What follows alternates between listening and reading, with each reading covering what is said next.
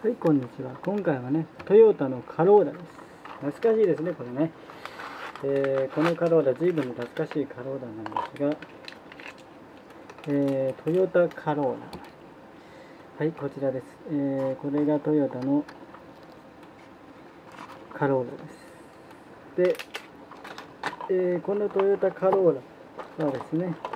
えー、国内販売トップ連続18年も続け、世界ランキングでも87年まで13年間に8度も1位に輝いたカローラスプリンターは87年5月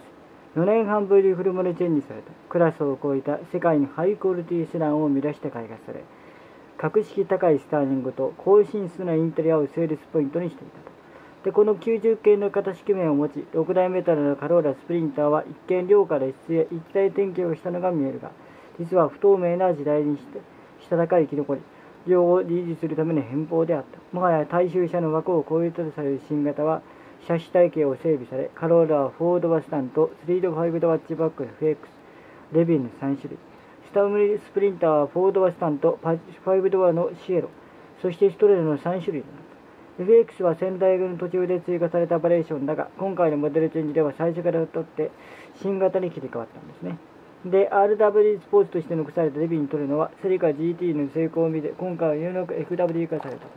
エンジンはスポーツツインカムの1.6リッター、4AGU 型、ハイカムツインカム1.5リッター、5AF 型、1.3リッター、2E 型。12バルク、73バルク、10.3グラムと1.8リッターディーゼル、IC2 型、64バルク、12.6グラム4種類だが、ノーマンの1.5リッターがツインカム化されたのを注目され、また、ツードクーペル、レビン、トレの GTZ グレード、ボンネットやパワーバジルが作りは MR2 に積まれていたスーパージャージー付き1.6リッターツインカム。4AGZE 型145馬力。6400回転 19.0g 4000回転4400回転が搭載された。そう搭載されたと。で87年1月にワゴンに遅れてフルモルチェンジし10月にフォードバスタンでカローラ初の 4W モデルを加えた。88年特別商社を立て続けに出し89年5月にマイナーチェンジが録され89年10月にフルタイムフォードボディの2リッターディーゼルを追加した91年1月にフルモデルにされて、まあ、7代目と、ね、なったんですね。で、えー、これが、えー、6代目の、えー、カローラでして、1987年から、えー、91年。で当時の、えー、新車での価格で、最も安いと、えー、1300カスタムデラックスが88万3 88万3000最も高いやつで、えー、そうですね。高いやつとなると、えー、SE かな。142.1万円ですね。まあそのとこ十分まあ安いカローラだと思うんですがまあ昔はあのカローラワゴンっていうのがありましてね。まあ後にカロゴンなんていうあの呼ばれる方になっていくんだけどもまあなかなかこういう車が、えー、あってまあ良かったなっていう感じです。まあ、カローラっていうと最近新しいのが、えー、出ましたけど今までちょっと前まではカローラアクシオとかって名前で呼ばれてたんですがまあそれで今までのないカローラを作ろうとしてやったんだけど、まあ、トヨタとしては大失敗しまして、えー、カローラアクシオなんて変な名前つけたもんですから余計このカローラへ購入しようというユーザーが減ってしまったというかね。まあそういうこともあって、まあ、カローラっていうのでずっと通してきたんだから、えー、じゃあカローラというアクションをまた取ってカローラに戻しましょうということでカローラというのに戻しました。今カローラも昔に比べて大変厳しい時代になりまして要するに今までこの時代の頃までのカローラって言ったらカローラと他の車の軽自動車に例えると当時の軽自動車っていうのは非常に安っぽくてでも走ればいいやっていう感じだったんですね。で走って燃費が良ければいい。そんで維持費が安いからいいっていうこの3拍子揃ってて走って燃費が良くて維持が安いからっていうのが軽自動車のメリット利点だったんですよところが90年代もだんだん後半になってくると荷物をもっと積めるようにっていうことでワゴンワールとかムーブとかああいうセダンタイプでありながら荷物がたくさん積めるような軽自動車っていうのが出てきちゃったからだからあのそれで爆発的にヒットしたんですね。でそこから近年の、まあ、軽自動車というのはぐーんと時代が先へ行くとより進化してえー、もう高級車に乗ってるのとあんまり変わらない、えドアのバタンという閉まる音だとか例えば N ボックスなんかねそうなんだけどドアがバタンと閉まる音はもう昔ながらの軽自動車の安っぽいですよっていう音じゃないと。もうドアバタンと閉めるのがもう普通車のドアをパタンと閉めるのと同じぐらい重みがある、えー、ドアの開け閉めになりましたしで乗り心地ももう乗用車並みの普通車並みの乗り心地になってきて。でで内装なんかやっぱ高級車みたいになってこち、まあ、小さな高級車になりましてね、えー、あのモケットなんかも優しく包み込むようなモケットで、えー、ベージュ色というかそういった感じで色合いも、えー、木目な木目調みたいなものもこうつけたりなんかしてるのかな。で黒いブラックのね黒いあのメッキみたいな感じの塗装塗装というかダッシュボード周りもできてきてるからまあ、昔の軽自動車というイメージと比べて今の軽自動車ってすこぶる進化して荷物もたくさん積めるわ。それでいて高級車であるから、えー、全然走りも違うし、えー、まあ、中の横浜の広さはこれはどうしようもないのでもうあのあれなんですけどもまあ高さは大きくなってくれば。で高級車並みに走りがあの走りも設備もいいわみたいな感じで。ですから今カローラっていうと軽自動車に座を奪われてるような感じなんですねですから非常にまあ前にもトヨタはドキュメンタリー番組をやっていましたけどももう非常にカローラっていうのはもう苦戦を立たされていたでそれでもうカローラというもう名前を使って売るのはもうやめた方がいいんじゃないかというふうにまで言われたんですがただまだ根強い多くのファンがいらっしゃるのでカローラをやめさせるなんてのはとんでもないと。えー、いうことがあってで苦心した結果じゃあカローラ悪用として新しく生まれ変わったカローラですというふうにして出したんですがこれが大失敗しまして、えー、それではカローラではないというふうな、まあ、厳しい、えー、お客様のご好意なんかをいただいたので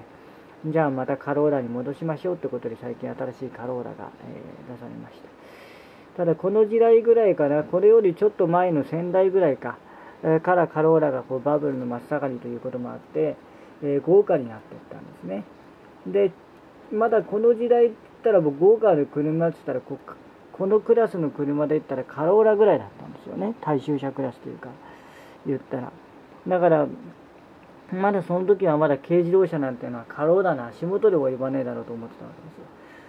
ところが、どんどんどんどん時代が進んで、そういうふうに軽自動車が普通車を超えてきちゃった。カローラをの豪華さを超えてきちゃったというところがあってねもうカローラをどころかマーク2とか、えー、クラウン並みの豪華さを誇るようになってきちゃったからもうそこまで軽自動車がそんなところまで行けるわけねえだろうと高をくってたんですがそれがそんなところまで技術が伸ばしてきちゃったもんですからもうびっくりしちゃったんですね。ですからまああのまあ、最近の軽自動車っていうのはすごいもんですよ。今までの安くて丈夫でね。燃費がいいみたいなそんな時代のカローラとは全然違いましたね。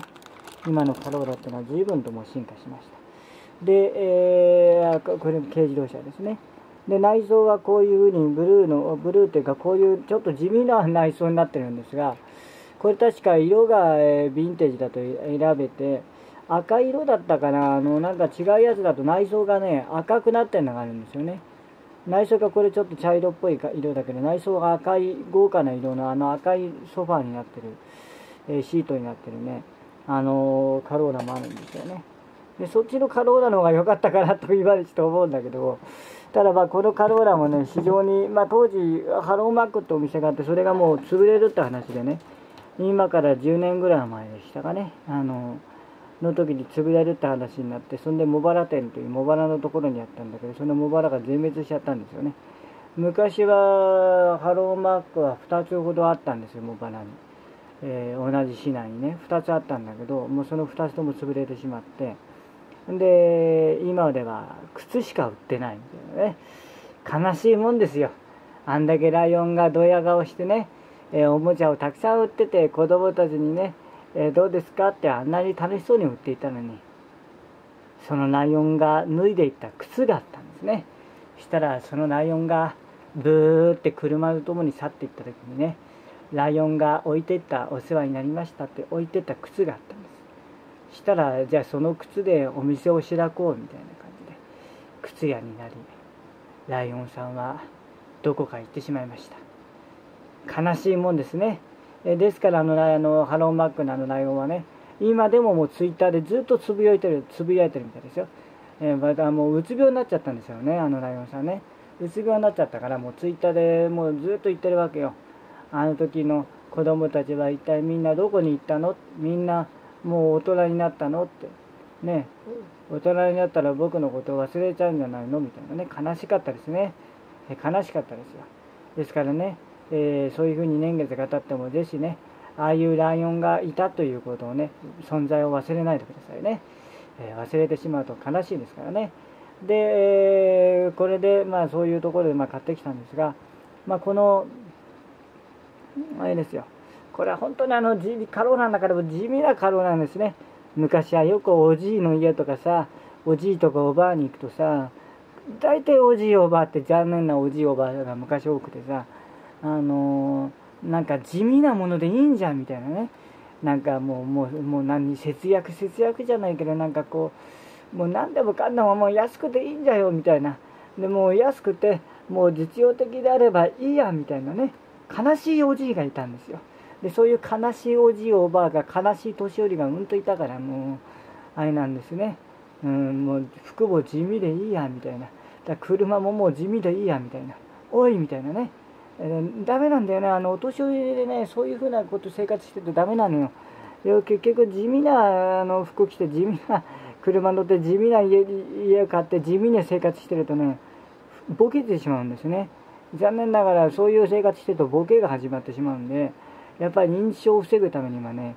あんな地味な暮らしはしちゃいけないです。やっぱり地味な暮らしより派手な暮らしですね。だからもっと言えばキキキリンの亡くなったあのおじいさんみたいにあんだけド派手ならばなおさらいいかもしれませんねだからああいうふうにやっぱりド派手に生きるといけないですねですからねもうおじいだからとかねもうおばあだからっつってねもうあのなんかなんか地味な方がいいんだみたいなねそこまでになっちゃうと悲しいですなあんな悲しいことはないですよ。だからもうねたまに今でもありますよ。もうおじいはあのおばあに会いますとね大抵おじいおばあに会うと今でもびっくりするぐらいいるんですよ。昔のおじいおばあかというツッコミがあるぐらいですね。あのあの例えば白とね、えー、まあ、パンダトルノじゃないけど白と黒のさ、えー、2種類の色があってバンパーが来る後ろが白みたいですからすげえすげえ地味な色してんのよ。まあ、あの86なんかとは全然違うね。全然地味な86とは比べ物ないこと全然地味な色しててさ。でそんでもうこういう地味な車ね。でそんでもうもうこの配慮だって見てください。この地味さをね。でこの地味な色でこのシンプルシンプル極まりねえみたいなこんなあのものでさ。でそれでブーってきてさ。だから私は子供心ながら思いましたね。こんなシンプルなじいさんになりたくねえみたいな。もうもう私はそう思います。申し訳ないけど私はそう思いましたね。私は、あの、じじいになるまで生きてるかどうか分かりませんが、じじいになってもですね、シンプルじじいは嫌だと思いましたね。ですからもう、あの、もっとド派手じじいになってやるみたいな、もう、そんな、あの、感じの野望を強く持ちましたね。やっぱり私は、あの、シンプルは嫌いです。はい。基本的に嫌いです。ですから、あの、節約です、節約ですとかって言ってる節約研究家っていうおばさんがいましたけど、腹立ちますね、あのおばさんね。えー、もう節約すればいいんですよって言って。さすりゃお金儲けしバカ野郎みたいなね。もう私からするともうそのツッコミがあるんですよ、ね、そんな節約にこだわるぐらいだったらお金を増やす稼げばいいじゃないかみたいなね。それだけ稼いでことはいいじゃないかみたいな。もう本当そう思うんですよ。だからああいう節約家とかって聞くとね腹立ったからだってしょうがないねあのね。もうそんなことするぐらいだったらお金を増やす方法を考えるわみたいなね。稼げばいいだけの話だわみたいな、ね。ほんとそう口プチってきてるぐらいのもうそれだけ嫌いなのよ。だからもうあのねあの地味っていうのはねほんと嫌ですね、えー、私は地味は嫌です。あやっぱりこう地味よりはこう派手な方がねいいですね。まあでもかといって難しいな派手すぎてもね派手すぎても派手すぎんなこのじじいみたいななりますからね。あのキキキリンさんのおじいさんは気が強いのは良かったんですけどド派手すぎましたからね。あれちょっとどかれすぎて現代の一休さんかなというぐらいねあの派手でしたね。だからもう現代の一休ですよあの人はね。もうドクロドクロのあの頭蓋骨のこうついたねあの杖みたいなのをこう持っててね。まさに現代を生きる一休じゃないかと思ったんですけどでもまああの人も、えー、あの奥さんとも亡くなってしまいましたからね、えー、あれでしたけども。まああの帰って鬼太郎のおじいさんみたいにね、えー、もうああそうですかみたいなね。やはり、えー、妖怪の親玉だったんだなっていうのがもうはっきりと伝わるようなおじいさんもいましたからね、えー、あれはあれであの人はあの人でね。別の意味でこう派手さが伝わっていまして。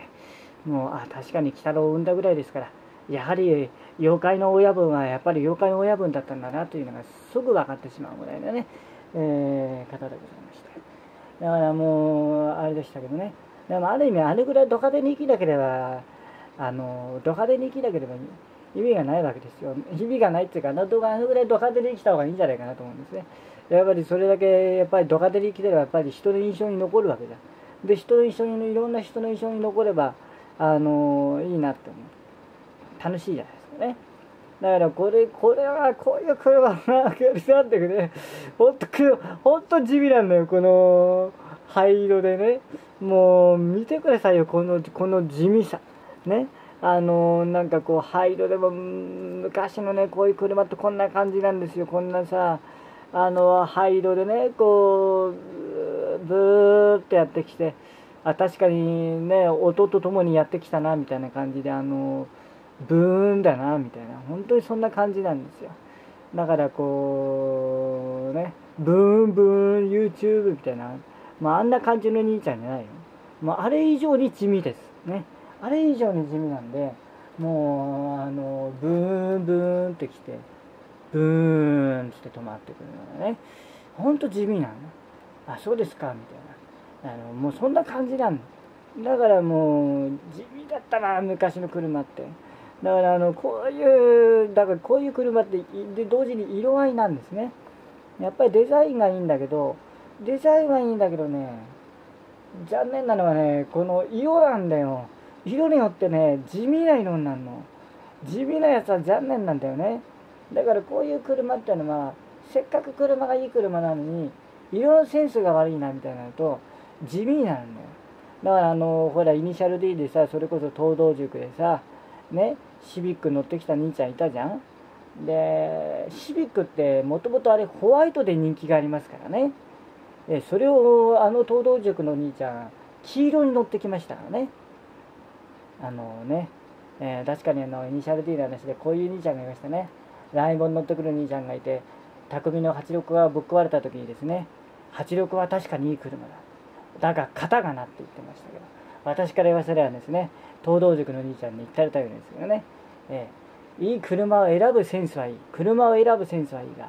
色がなみたいなね。もう色のセンスが悪いよみたいな、うん、黄色はねえよみたいな。あのもうそれこそもうおもらししたんですかってぐらいの末期木の色ですかねあの色。そうじゃなくてねもうちょっとこうもうホワイトなんですよシビックは。ですからあの末期金をおもらししたみたいな末期金の色っていうのはあれはねあのー、あちゃーみたいな色でしたね。あれをどうして選んだんだっていうね漫画家に突っ込みたい色ですけどね。あの色を選ぶのは間違ってるみたいな、あの、もう本当にある意味衝撃的な絶望ですよ。テンションが上がる絶望じゃなくてテンションの下がる絶望ですね、えー、そういうのを見たらちょっと困りますね。みたいな感じです。だからもうこういう車ってのはね色が大事なんですよ。